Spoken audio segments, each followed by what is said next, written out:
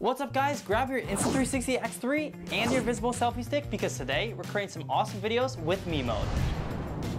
So you might be wondering, what even is Me Mode? So Me Mode allows you to skip the process of reframing.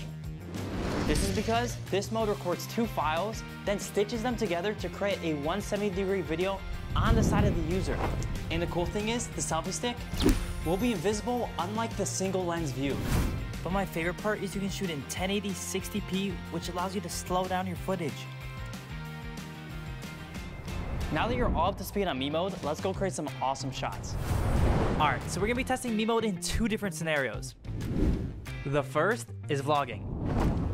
And the second is skateboarding. To start shooting with Me Mode, attach your X3 to the invisible selfie stick. Then open your camera. Select single lens and finally pick Me Mode. Alright, now let's start filming.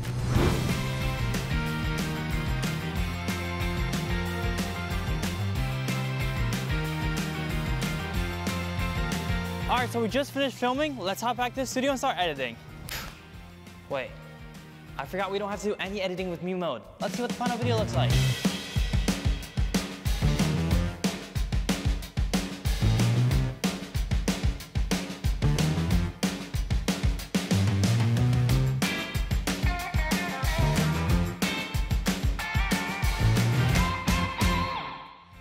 Well, that was the final video. Let me know what you guys thought in the comments below.